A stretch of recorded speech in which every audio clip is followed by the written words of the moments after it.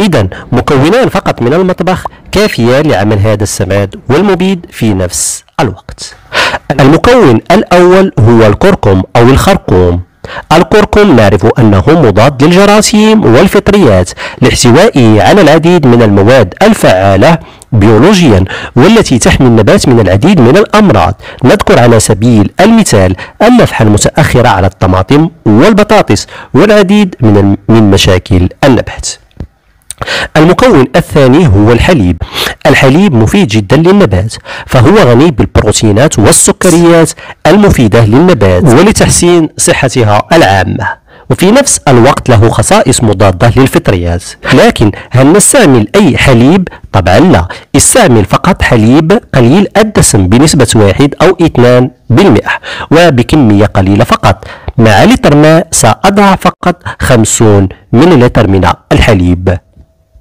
أصدقائي الحليب الكامل الدسم أكيد سيسبب رائحة كريهة وسيسبب تعفنات للنبات ويعيق نموها ويسبب ذبولها إذا قلنا نستعمل لتر واحد فقط من الماء ويجب أن يكون دافئ نضيف إليه ملعقتان صغيرتان من الكركم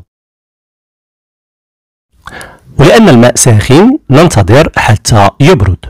ثم نضع الخليط في بخاخ.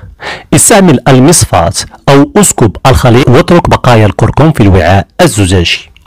كما قلت سماد ومبيد آمن وبدون أي أضرار جانبية.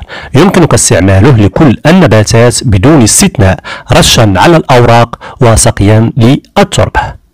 من أهم فوائد هذا المحلول مد النبات بعنصر الكالسيوم.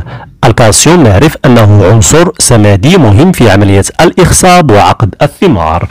يشجع على نمو المجموع الجذري ويساعد النبات على تحمل الظروف القاسية كالجفاف والحرارة وأيضا الصقيع هنا ننتبه جيدا.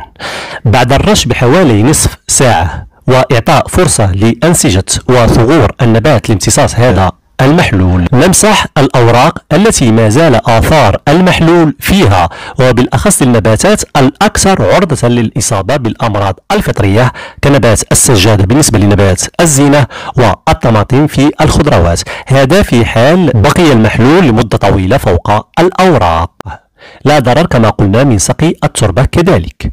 وستلاحظ النتيجة المبهرة وأؤكد من جديد على أن أي استخدام خاطئ لهذه الوصفة لا أتحمل مسؤوليته لأنني شرحت بالتفصيل المقادير وطريقة الاستعمال ونوع الحليب الذي نستعمل.